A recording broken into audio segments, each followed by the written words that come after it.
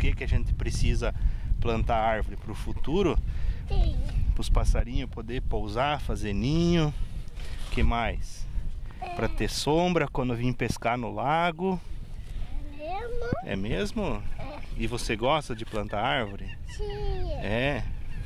O Benjamin Picoloto tem três anos e nove meses. Sempre acompanha o pai nessas ações, desde pequeno aprendendo a preservar o meio ambiente. Assimilando isso, isso é, um, é o futuro para ele mesmo, né? Então, para ele poder talvez desfrutar desse lago no futuro aí, com uma pescaria, né? Ou vir com os amigos aqui, um lugar amplo, né? Eu digo até para empinar uma pipa é um lugar muito interessante, né? Então, é, eu creio que um futuro próximo ele vai ter consciência de que no futuro, no, no passado, ele teve essa orientação, né?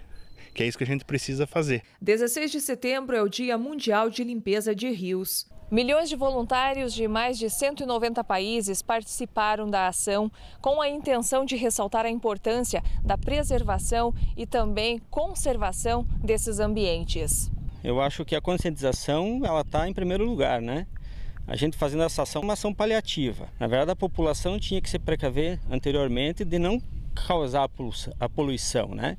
A gente fala muito isso, é a questão educativa, né? Então a educação ambiental, ela tem que estar dentro dos lares, tem que estar no nosso clube de pesca esportiva, tem que disseminar na região toda, né? no Brasil inteiro, no mundo inteiro. Né? Em Pato Branco, a limpeza aconteceu em três pontos. Um deles foi aqui no Lago Azul, no bairro Gralha Azul.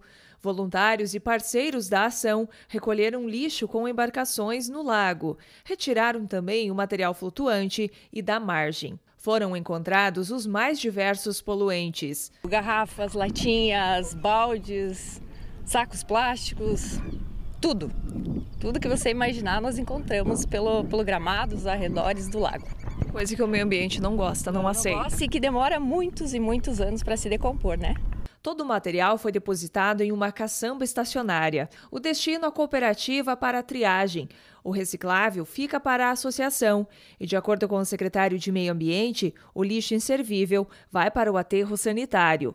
Avaliando tudo o que foi encontrado, materiais nocivos ao planeta materiais que acabam sendo é, contaminantes para o meio ambiente, materiais é, perigosos, inclusive. A gente observa diversos materiais é, eletroeletrônicos que possuem componentes é, altamente é, poluentes né, e prejudiciais tanto ao meio ambiente quanto para a saúde humana. A ação em Pato Branco contou com vários parceiros: o Pato Pescador, Rotary, Rotaract, Interact, IAT, SESC e o TFPR.